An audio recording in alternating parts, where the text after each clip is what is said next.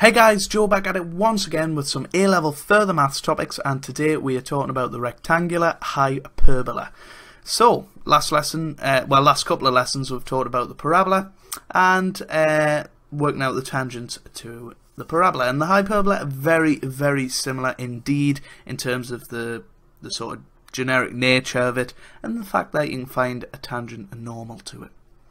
So the learning objective is to understand what is meant by a rectangular hyperbola and how to work out the tangent to it. So the last couple of le lessons we've focused on something known as the parabola. In this lesson we'll talk about something called the rectang rectangular hyperbola and you'll meet these sort of curves in core 1 um, and you know onwards uh, but you'll never hear them called the rectangular hyperbola probably until core 4. So uh, a rectangular hyperbola is a decay graph, so as x gets larger and larger, y gets smaller and smaller. So there you go, that's what it looks like there. Um, it's just starts high and, comes in and low, but never ever hits zero, so uh, the asymptotes here are the x and y axis. It has the following parametric equations, and I said in the last episode that we will deal with parametrics, but in Core 4, and just think of them as working in T uh, at the moment. Don't worry about them. So x equals ct, y equals c over t. So they're the generic points.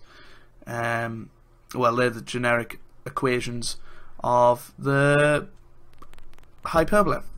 So therefore, the Cartesian equation is um, uh, xy equals c squared because if you times them together the t's cancel and you just end up with c squared. Cartesian is the world that we work in. y equals 4x plus 3. It's where x and y's appear in the same equation with uh, a constant. That That's literally what a Cartesian equation is.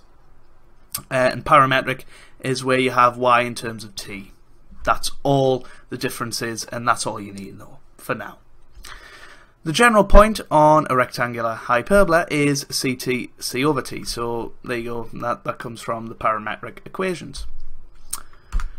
So just like parabolas and any other curve, we can find tangents and normals to the rectangular hyperbola.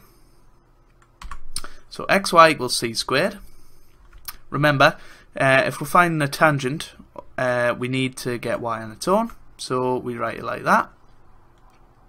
But then if you remember, we need to differentiate, so we're going to need that x in power form. So we write it like that. y equals c squared, x to the minus 1.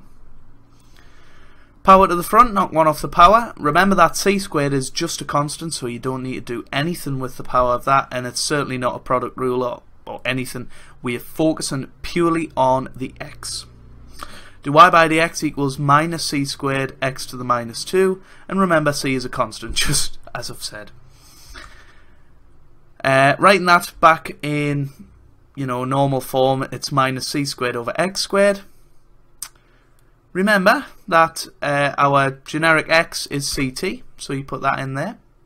Square everybody in the bracket, and you get that. And we've got c squared on the top, c squared on the bottom, so there you go, and you're just left with minus 1 over t squared, and that is the generic gradient for any tangent to any hyperbola y minus b equals mx minus a. Here I'm going to times through by t squared just to get rid of the fractions and you get that. Very careful with this negative sign here, do not forget about them and just change everybody's sign in the brackets and you get that. Making everybody positive, the generic tangent to a hyperbola is t squared y plus x equals 2ct. So here's a um, example, just found this straight away on an FP1 paper. Uh, can't remember the year, but the point P, where x equals 2, lies on the rectangular hyperbola H with the equation xy equals 8. Find the tangent of, uh, sorry, the equation of the tangent T at the point P. So, xy equals 8, but we need y on its own, 8 over x. Write that in power form, please, and you get that. Power to the front, knock one off the power, and you get that. Write it back in a form that you like to look at, minus 8 over x squared. Remember though, uh, that our x here is 2. So you end up with that. dy by dx equals minus 8 over 4, so dy by dx must equal minus 2. So our gradient at the point 2 is minus 2. y minus b equals mx minus a.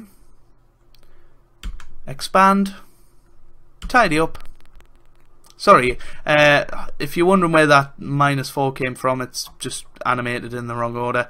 Uh, when x equals 2, y equals 4, because we'll just put back through this. Uh, what do you times 2 by to get 8? That's going to be 4. Tidy up and make it positive and you get y plus 2x equals 8 and that is the equation of the tangent t at the point P. Probably a bit of an easier example. You would generally get um, generic ones, but uh, just remember uh, the generic uh, equation to the tangent, I forgot what I was talking about there, the generic equation of the tangent which is t squared y plus x equals 2ct and that is pretty much that with rectangular hyperbola. Uh, it is probably one of the harder topics on FP1, uh, you can get some pretty nasty questions on them. Um, but this is the basic knowledge that you need to know. Uh, and obviously, hopefully, you found it helpful. So make sure you leave a like uh, down below if you did, because I need to know that the lessons are, good quality. I know I say it every lesson, but make sure you do. Uh, any questions that you do have, leave them in the comment section below, and I'll do my best to answer them. Uh, there's plenty of questions on FP1 papers. Uh, I'd go to physicsandmathstutor.com to find those. Uh, Edexcel, I'm doing uh, so, yeah, I hope you guys are having a wonderful day and that your A levels are going very, very well indeed. And I'll see you in a couple of days where we'll be moving away from coordinate systems and moving towards numerical methods.